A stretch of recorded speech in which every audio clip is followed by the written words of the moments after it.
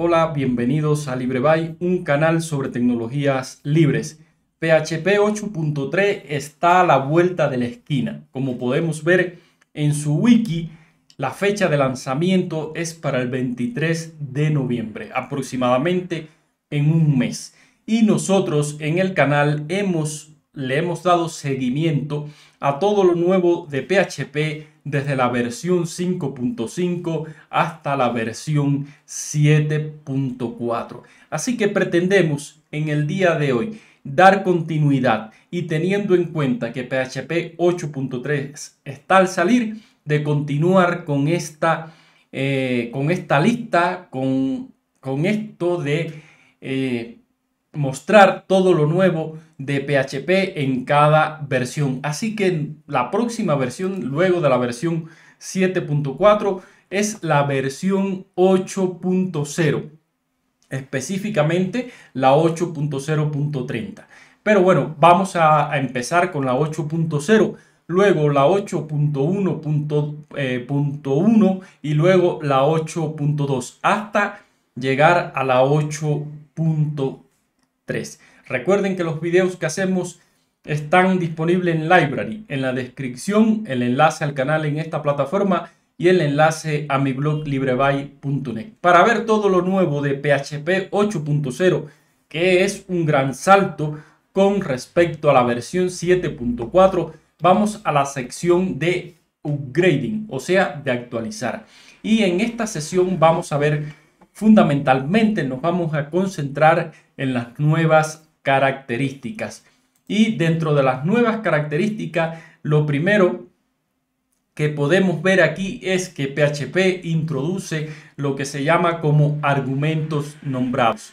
¿Qué son los argumentos nombrados? Vamos a eh, comentarlo ahora. Aquí como lo dice en este ejemplo, PHP antes de la versión 8.0 usaba la filosofía de argumentos posicional, o sea, cuando usted definía eh, una función y le iba a pasar los argumentos a esa función, tenía que ser en el mismo orden en que definió la función. Actualmente, a partir, o sea, a partir de PHP 8.0, además de este, este método de pasar los argumentos, también se pueden usar lo que es los argumentos nombrados. ¿De qué se trata los argumentos nombrados?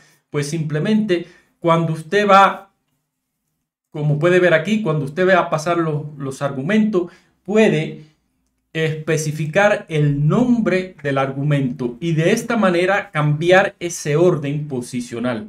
De esta manera es muy útil a la hora de, eh, a la hora de, por ejemplo, hay parámetros por defectos, como en el caso, vamos a ver el mismo caso de ArrayFill, que es una, una función nativa de PHP. Vamos a ver ArrayFill PHP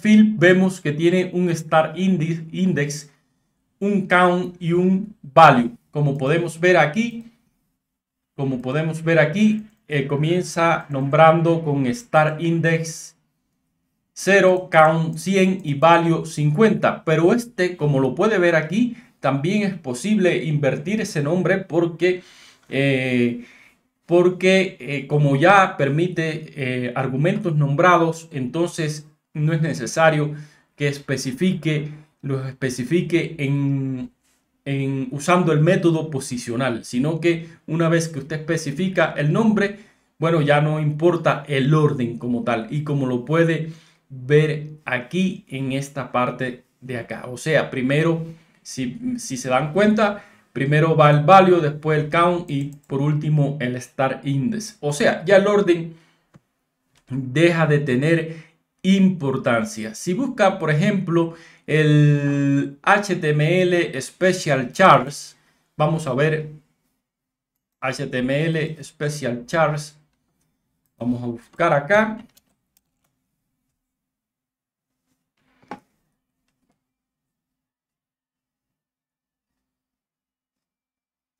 Es otra, por supuesto, es otra función nativa de PHP y vemos que aquí le pasa bueno, eh, string le pasa una cadena O sea, no siempre, no siempre o no es necesario siempre eh, especificar el nombre de los argumentos. Usted puede hacer una combinación, combinar argumentos posicionales con argumentos nombrados, como es el caso. Le pasa una, una cadena, que es una variable, y luego le pasa el nombre. Es bueno aclarar además que eh, no se le puede pasar el valor de una variable a un argumento nombrado. Bueno, sí, sí se le puede pasar el nombre de una variable. Lo que no se le puede pasar es que hay algunas restricciones que las vamos a ver ahora mismo. Ya vimos el tema de eh, pasar, eh, combinar los argumentos, o sea, posicionales con argumentos nombrados. Aquí nos dice que si lo llamamos así es igual que pasarle esta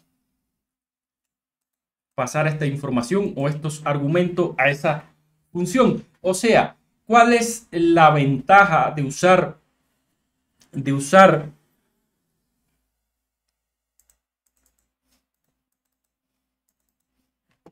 Vamos aquí, doble encode eh, true. Vamos a verlo, lo vamos a ver aquí. ¿Cuál es la ventaja? ¿Cuál es la ventaja? La ventaja es que a la hora de llamar la función, usted puede omitir algunos parámetros que tienen valores por defecto, como es el caso, por ejemplo, de los flags y el encoding. Si se dan cuenta, aquí nos necesito solo pasar dos parámetros, la cadena y, luego el double encode en falso, como tiene valor por defecto en true, se lo paso acá en falso y así me ahorro pasar el segundo y el tercer argumento como tal, o el segundo y el tercer parámetros que además tienen valores por defecto. Aunque aquí hay un, parece que hay un, problema porque eh, realmente aquí le están pasando UTF-8, hay una diferencia y realmente cuando vemos aquí el encoding es null por defecto. Como es null por defecto, entonces Vamos a ver si es verdad que por defecto...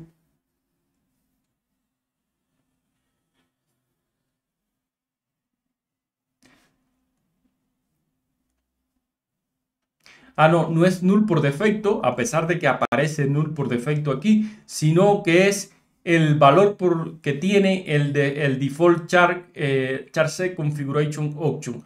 O sea que va a tomar el valor de este, en caso de no pasar el parámetro, lo va a tomar de aquí, de este valor, o sea, de esta directiva de configuración. Imagínese o ve aquí que es parte del, del ini como tal, del fichero ini de PHP. Entonces coge el valor que usted tenga definido ahí por defecto si no le pasa ninguno.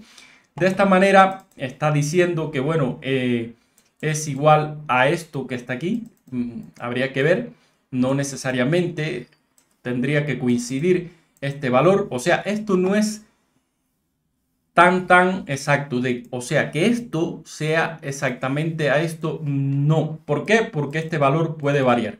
No obstante, si el objetivo eh, se nota de lo que quieren mostrar, de lo que quieren indicar. Ahora, no siempre puedes combinar. ¿Por qué?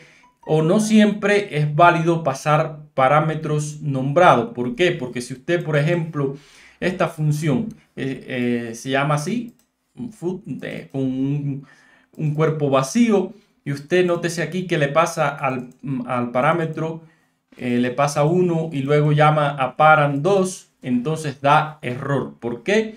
porque ya él se está diciendo que este parámetro sobrescribe al primero, pero tampoco puede pasar un posicional y un nombrado si solo tiene un argumento. También le va a dar error, como es este caso. Otra de las cosas es cuando se está eh, desempacando argumentos.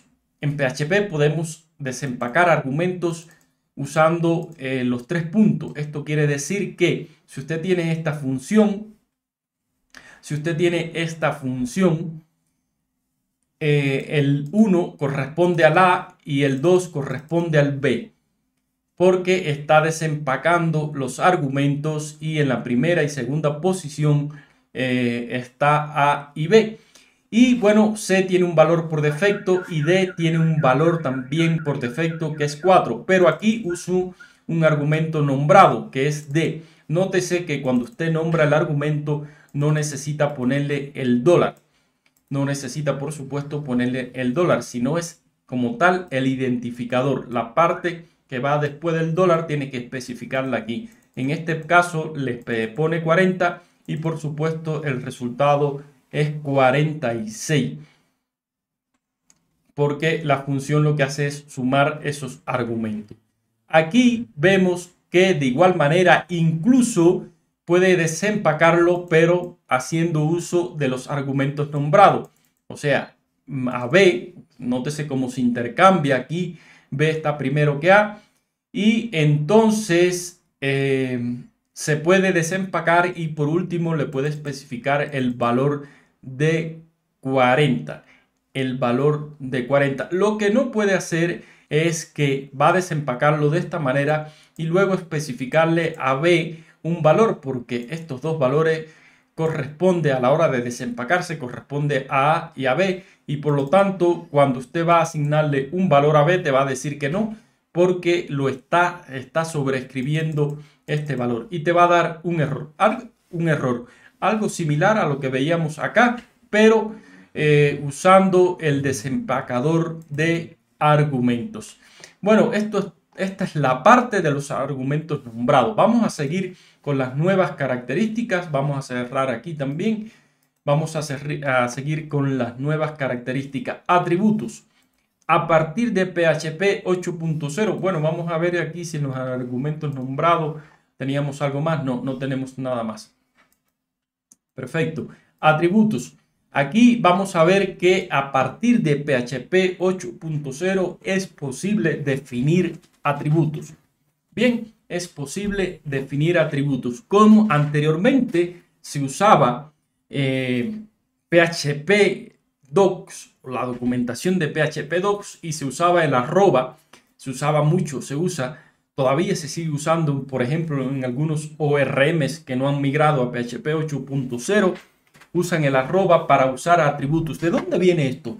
Esto viene fundamentalmente de la comunidad de Java y la comunidad de PHP, cogiendo esa filosofía, eh, también implementaba o implementó una serie de funcionalidades usando atributos fundamentalmente y muy útiles, muy útiles en los ORM, o sea, en los Object Relational Mapping. Pero a partir de PHP 8.0, PHP ya implementa atributos de forma nativa, implementa atributos de forma nativa. Y de esta manera, por supuesto, se hace mucho más fácil trabajar con atributos, además de que es mucho, ahora es mucho más eficiente porque la implementación, por supuesto, está desarrollada en C. Antes, parsear los atributos, había que coger la documentación y parsear esos atributos y entonces eso habría, se, hacía en PHP puro y de cierta manera eh, causaba cierto overhead, mm, consumo de tiempo. Bueno, a partir de, 8. a partir de PHP 8.0 ya se permite definir atributos y se definen de esta manera, con un numeral, corchete y el atributo en cuestión. Ahora, esto también, por ejemplo, eh, se usa mucho en otros lenguajes de programación, en Rust. Ahora, hay que tener en cuenta que los atributos no te dan ninguna funcionalidad extra, que son simplemente eh, metadatos. O sea, no es que usted va a marcar una clase, un método con un atributo y PHP automáticamente va a hacer algo con eso. No ¿Por qué? Porque eso es un metadato, eso es informativo. Entonces usted tiene que usar la API de reflexión para poder obtener, obtener eh, la información de los atributos como tal. Y entonces hacer algo con esa clase, con ese método, con esa propiedad. Ahora, ¿cómo obtener, cómo obtener información de los atributos usando la API de reflexión o Reflection API? Usando, por supuesto, Reflection Class o Reflection Object, pero quiero ver también, aquí están todas las clases de la API de reflexión, pero la parte que quiero ver es Reflection eh, Attribute. O sea, esta clase es la que quiero ver porque en esta clase tenemos eh, cuatro, así que tres métodos fundamentales. Tres métodos fundamentales. ¿Cuáles? El get arguments, el get name y el get target. Bien, ahora, el ejemplo que nos pone PHP no es el ejemplo más idóneo, no es el ejemplo más esclarecedor. Por lo tanto, vamos a ver un ejemplo de un ORM. En este caso, el, el ORM es Cycle o Cycle ORM. Vamos a ver. Cycle ORM, vamos a buscarlo. El punto de. Vamos a ir a la documentación y vamos. Esto es un ORM y vamos a ver cómo usa los atributos. Como puede ver, Aquí marcó esta clase con el atributo entity. Por lo tanto, cuando usted llama, usa la clase, o sea, la API de reflexión y llama a getName, a getName, pues eh, va a obtener el, nombre de entity. Lo otro que cuando, vamos a ver porque me estoy acá, cuando, ajá, getName. Ahora, Vemos aquí esta propiedad que tiene eh, otro atributo, pero además se le pasa el target. Por lo tanto, cuando usted llama, el getName sería has1. Esto es para definir una relación de, de unos a muchos, sí, o de uno a uno. Bueno, vamos a ver. De uno a uno, o de uno a muchos, pudiera ser, habría que ver.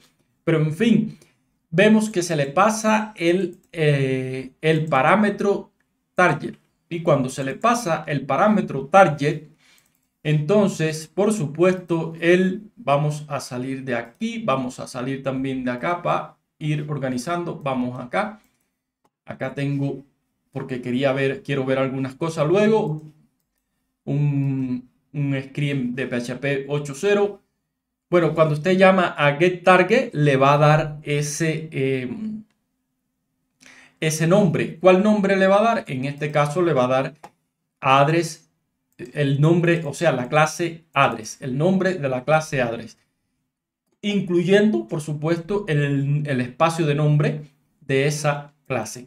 Ahora, seguimos por acá, vamos a ver, es que aquí, get name, get target y get arguments. En el caso de que usted le pase, por ejemplo, en lugar de pasarle el target, le pase aquí solo una cadena, solo una cadena, entonces puede obtener el valor de esa cadena con, eh, con getName. O sea, vamos a suponer que yo tengo esta clase aquí. Aquí, como les dije, le mostraba la versión de PHP. Tenemos aquí PHP 8.0. Vamos acá a mostrar. Vamos a mostrar aquí Entity. Si yo le paso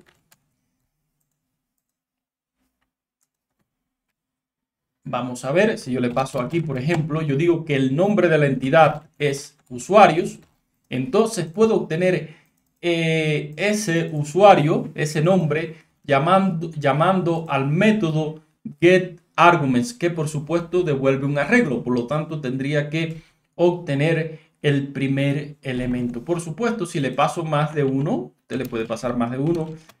Eh, claro, en entidad entity, eh, no sé, eh, el nombre de la entidad que fuera users, em, por decir algo, columns 10. Bueno, aquí habría que ver si se puede pasar. Yo creo que se puede pasar así en este formato. Vamos a ver. Claro, aquí no tengo esta clase address, por lo tanto yo voy a quitar esto aquí para que me pueda funcionar. y entonces vamos a ver si es posible llamar a la clase. Hay un error acá, probablemente sea aquí a la hora de pasar valores.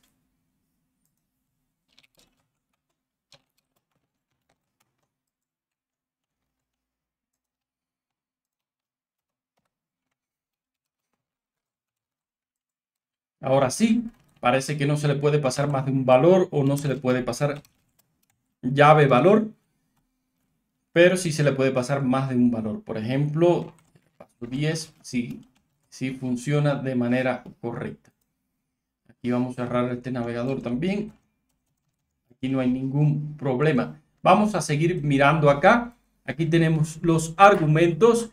Los vamos a ver. Vamos a hacer un, ejemplito rápido de cómo podemos tener el argumentos, pero quiero ver antes de eh, la sintaxis de los atributos para ver cómo podemos pasar más de un valor. Entonces hay que pasarlo así, como un arreglo. Se puede pasar así como un arreglo llave valor. O sea que yo en lugar, si yo le paso esto aquí, columns, por ejemplo, le pongo 10, debe funcionar sin ningún problema. No da, no da errores.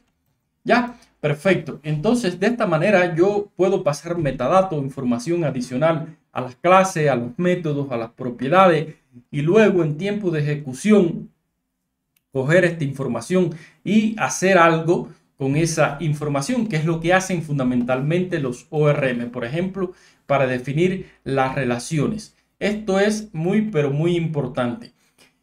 Y me parece que es muy bueno que PHP lo haya implementado de forma nativa. Dije que iba a ser una implementación rápida. Bueno, vamos a hacer una implementación rápida. Vamos a decir que reflection es igual a new reflection eh, class, ¿qué le vamos a pasar? New reflection class. ¿Qué le vamos a pasar? El user, user class. Esto me completo aquí. Ahora vamos a decir reflection. Creo que con get attributes. Get attributes. Ok. Vamos a hacer un print R acá. Un print R. Y vamos a ver qué nos sale. Perfecto. Vamos a ver qué nos sale. Get reflection class, get attribute. Bueno, perfecto. Vamos a ver si. Claro, hay un error. Cerrar aquí también. Hay un error ¿Por qué? Porque sería así. Vamos a ver ahora. ¿De qué me da reflection attribute? Me devuelve un objeto de reflection attribute en cero. Por lo tanto, yo puedo decir, por ejemplo, class attributes es igual a reflection attributes. Bien. Y ahora en la posición 0 tengo el primer atributo. Vamos a ver cuál es ese atributo. En 0, como podemos, reflection attribute object. Tenemos un reflection attribute object. Por lo tanto, vamos a ver aquí attributes. El primero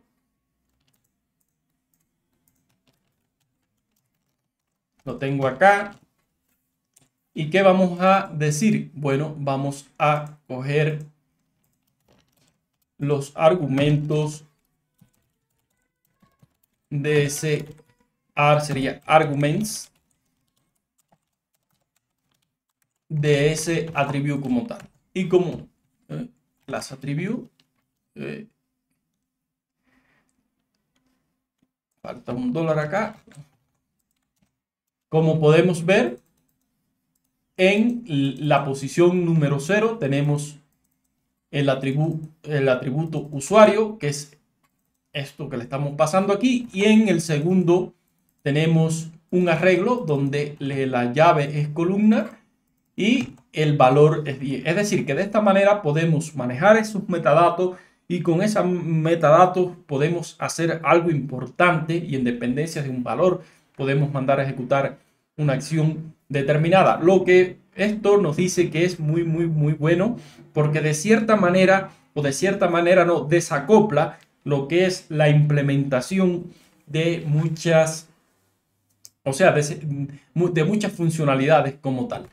Entonces, sí, yo creo que es bueno seguir profundizando en, en, esta característica de PHP 8.0, que es una característica moderna además. Entonces, vamos a pasar a la próxima nueva característica. Ya vimos el tema, aquí teníamos get argument, get name, ya vimos cómo coger el target también, cómo coger el target. Vamos a ver el constructor porque me llama la atención que el constructor no tiene parámetros, no tiene parámetros. Entonces, bueno, la manera de, eh, ya vimos la manera de pasarle parámetros a esos, a un atributo de esta manera. Y bueno, la, para obtener esos argumentos con la función getArgument. Y bueno, de esta manera también podemos coger el nombre, en fin, el getTarget. En fin, eh, muy importante, muy importante esta nueva característica. Vamos a cerrar acá para poder seguir analizando las nuevas características de PHP, eh, de PHP 8.0. Aquí tiene otras, otros temas que también puede usar. Bien, y puede consultar luego. Vamos para la próxima característica, Constructor Promo, Property Promotion. ¿Qué quiere decir esto? Que antes de PHP 8.0, vamos a poner esta clase aquí, vamos a ponerla acá, 8.0, y vamos a hacer un ejemplo. O sea, vamos acá, tenemos esta clase que se llama point, y vamos a hacer antes de PHP 8.0 que usted necesitaba hacer. Necesitaba poner, eh, por ejemplo, em, de esta manera. Necesitaba hacerlo así. Aquí le pasaba in X y lo hacía de esta manera, antes de PHP 8.0. Bien, y ahora Ahora nosotros vamos a hacer un print R de un new point. Bien, vamos aquí y vamos a ver qué nos dice ya vamos a cerrar acá. Tenemos, claro, porque por supuesto nos da errores porque teníamos que pasar un valor, un 2. Y ahora sí funciona bien y como podemos ver nos muestra solo la propiedad Y porque tiene un valor por defecto. Y como tiene un valor por defecto, eh, claro, porque para poder actualizar esas propiedades había que hacerlo de esta manera. X, X igual X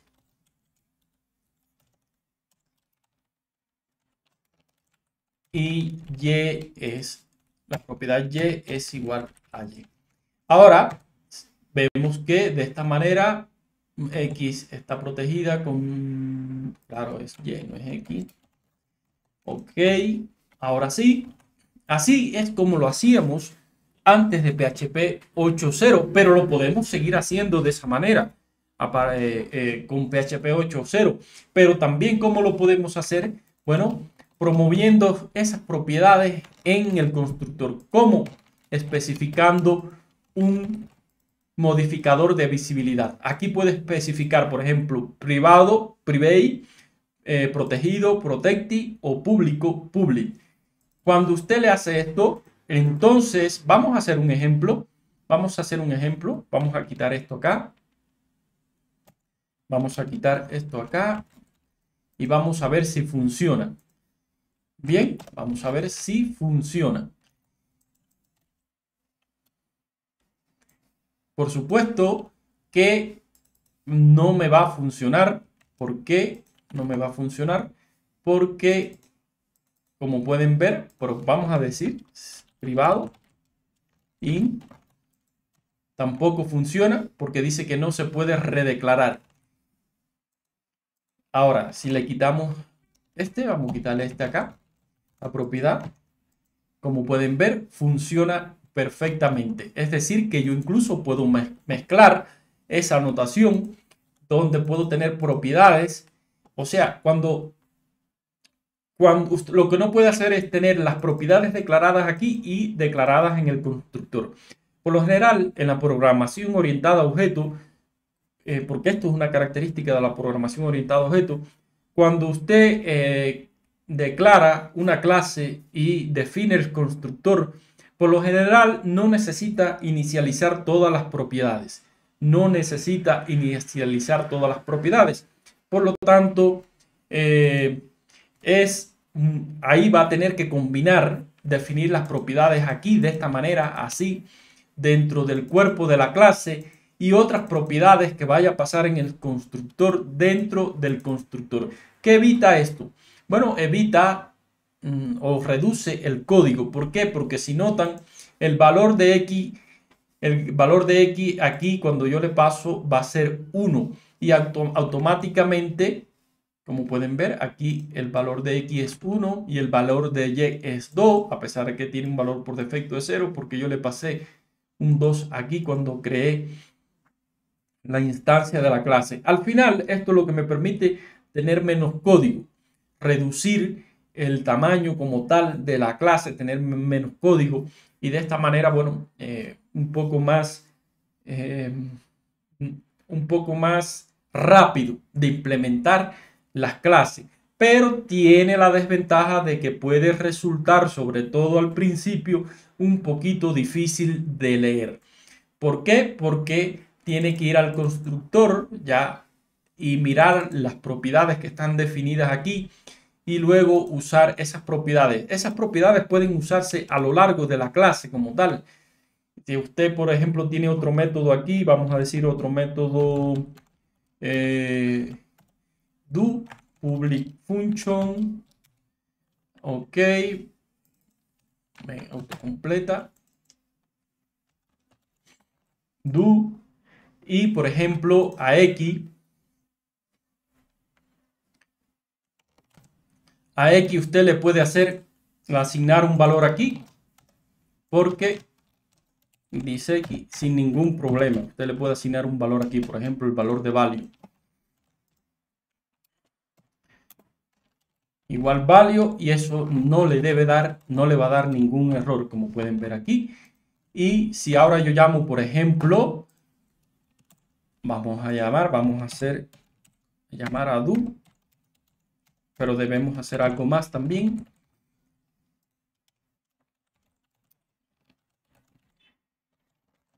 Acá, claro, hay algo ahí que falta porque el do va acá adentro.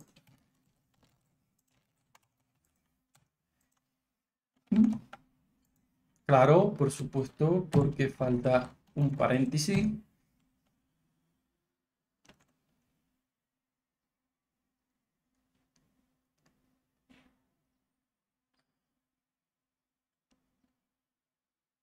Dice que no puede redeclarar X.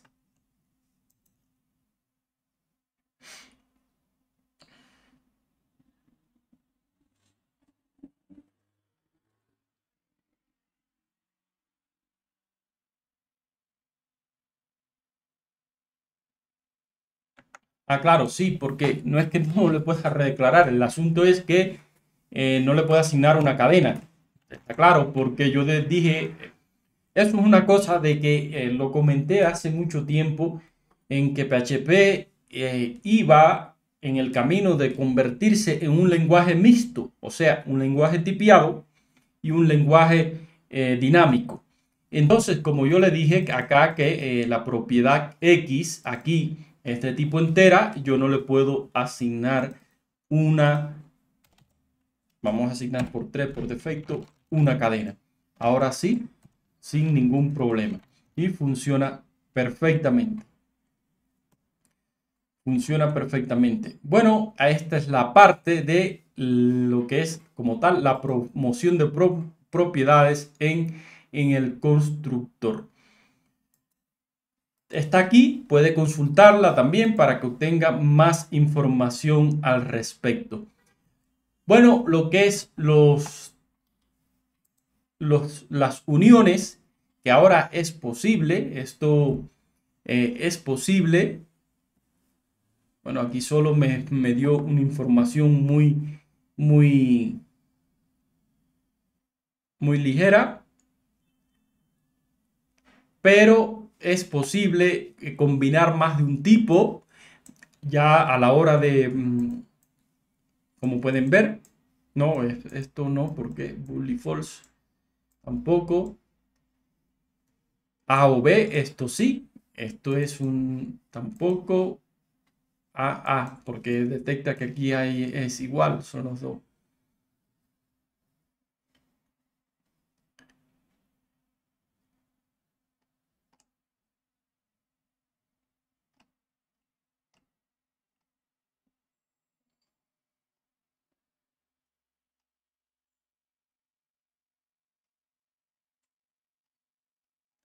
Bueno, aquí realmente no nos da mucha información acerca de los Union, Ties, eh, pero que eh, puede combinarla usando la barra vertical.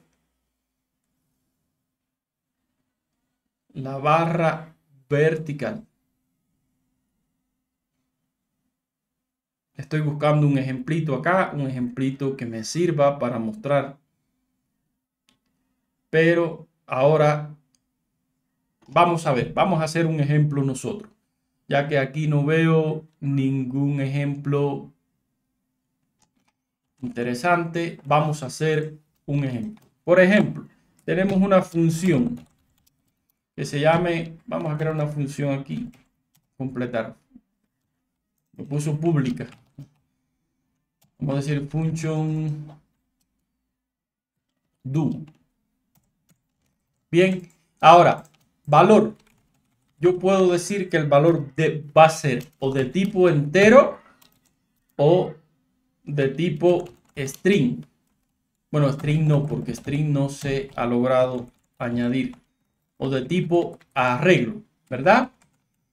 Vamos a decir que valor es un entero o de tipo arreglo. Vamos a ver qué pasa.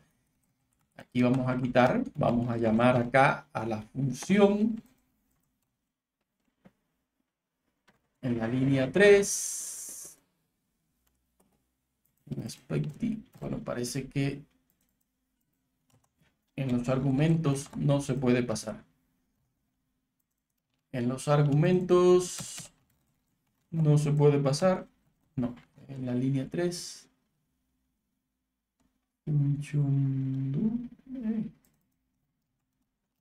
Value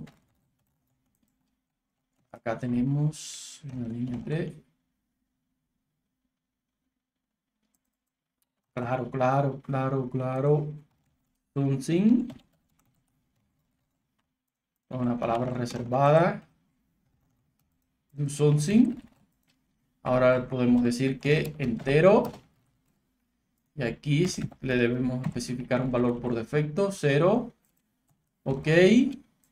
Ahora, además de entero, yo digo que puede ser, por ejemplo, decía que un arreglo.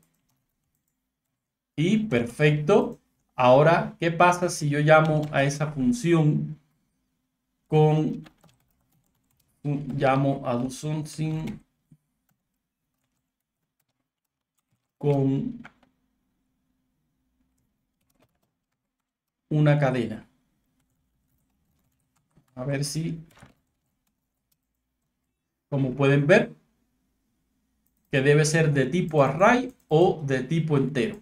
Y dice que se le dio una cadena, se le pasó una cadena. En cambio, si le puedo pasar un arreglo vacío, que perfectamente eh, funciona el ejemplo. De eso se trata el union type. Ahora, ¿qué pasa si yo le especifico un nuevo valor acá? Bool. Perfecto. Aquí yo le puedo pasar, por ejemplo, true. Funciona perfecto. ¿Qué pasa si yo le paso eh, un objeto de la clase std class? Error. Debe ser de tipo arreglo, entero o bool. Y de eso se trata el, el union type. Y esto se aplica también, se aplica también para los tipos, o sea, cuando usted devuelve un tipo, acá también puede especificar que el valor devuelto de la función sea de determinado tipo. Por ejemplo, no sé, flotante, puede, puede entero y así puede definir el union type. Incluso lo puede definir para trace, cache, eh, para las secciones. Vamos a ver eh, argument invalid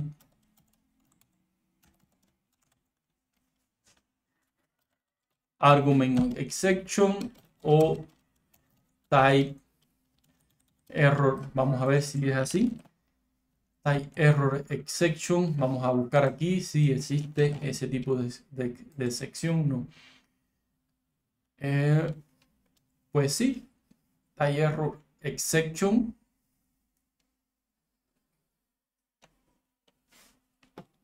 O die error exception. También pueden pasarlo aquí. Bien. Eh, de esta manera yo capturo a la excepción y hago algo con ella. Es decir, que también puede usarlo para objetos, no solo para eh, primitivos. Ahora vamos a ver, primero lo que vamos a ver es si mi... Y aquí yo lo único que le voy a pasar es... Eh, voy a pasar una sección. Y lo único que voy a hacer es... Voy a lanzar esa sección. Aquí está. Perfecto. Vamos a ver primero. Vamos a primer, primero. Vamos a ver sin llamar a la función. Vamos a ver si el intérprete de PHP se traga el ejemplo. Si se lo traga sin problema, no me da ningún error. Por lo tanto, yo digo do something y ahora voy a lanzar un type error exception. Vamos a lanzar un type error exception en el constructor hay que mm, lo puedo pasar ok puedo crear eh, devuelve error ok puedo pasar. Ah, devuelve un new construct devuelve un error. Ah, un type error exception new type error perfecto Ahora si ejecuto, vamos a ver aquí, vamos a eh, hacer un print R de quién? De la excepción. A ver qué nos da. Ejecutamos acá. Como pueden ver, es de tipo type error sin problema. Ahora, vamos a pasar un invalid argument exception.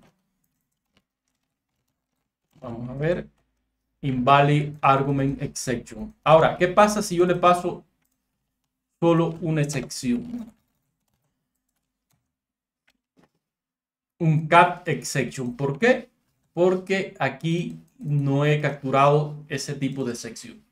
Y es para esto me sirve el, el union type, una característica moderna también que me gusta mucho, esta nueva característica agregada por PHP. Vamos a ver, vamos a seguir acá con las nuevas características. Nuevas características. Más expression. Déjame ver cuánta nos queda. Null safe operator. Bueno, vamos a tener que dividir este video en dos. Vamos a dejarlo aquí en lo que es eh, los Union Ties y en un próximo video vamos a seguir con las nuevas características y probablemente también eh, consultemos los eh, cambios incompatibles, características obsoletas y otros cambios. Vamos a ver. Pero sí, yo creo que vamos a tener que hacer más de un video para cada versión de PHP. Así que por hoy es todo. Nos vemos en un próximo video para seguir hablando sobre tecnologías libres.